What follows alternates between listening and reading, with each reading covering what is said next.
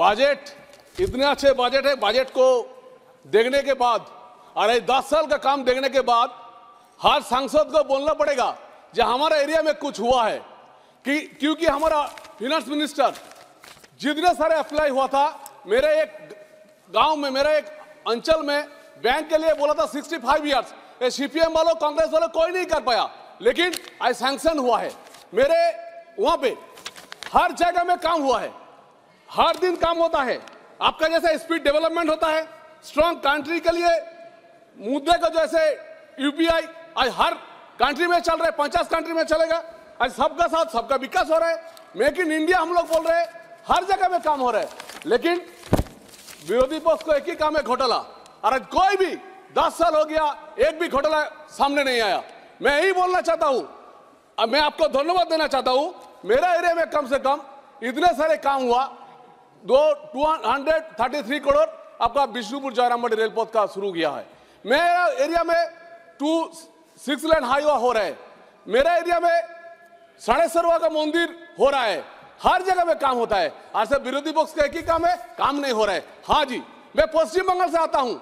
हर दिन रास्ते में बैठते हैं, क्योंकि पश्चिम बंगाल सरकार इतना घोटाला करता है, इतना घोटाला करते हैं, सिर्फ़ चोर चोर चोर। पब्लिक ने बोलते हैं, तृणमूल कांग्रेस वाले को, तृणमूल सरकार को। आज कैग ने रिपोर्ट दिया है, दो लाख के आसपास आपका चोरी हुआ है, उसका यूसी नहीं जमा दिया है। आज यही बन के लिए हम लोग जो साथी है, वो सोगत था, बोल रहा था, सेंट्रल गवर्नमेंट ये नहीं कर रहे वो नहीं कर रहे। मैं तो बोल रहा हूँ, मैं गाँव से आता हूँ, मैं बिष्णुपुर से आता हूँ, हर काम में, सरकार में हो रहा है दस साल में, और मोदी जी का बात है ना ये गतिशील भारत, हमारा सबका साथ, सबका विकास, वही होगा। मैं सिर्फ़ यही बोलेंगे, हमारा पश्चिम बंगाल का जितने सारे सांसद है, मैं उनको रिक्वेस्ट करेंगे।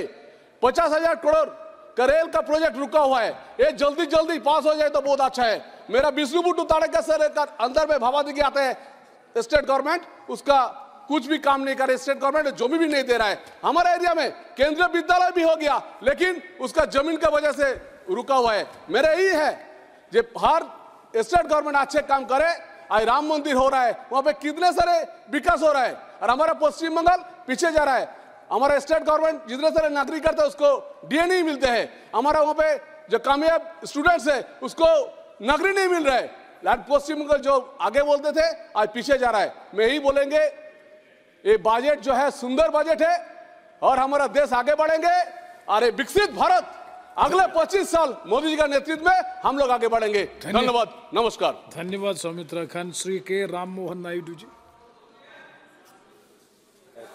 Thank you, Chairman, sir, for giving me the opportunity to speak on the interim budget 2023-24, sir.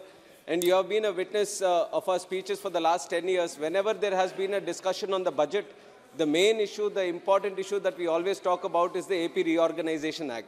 And since the bifurcation of Andhra Pradesh,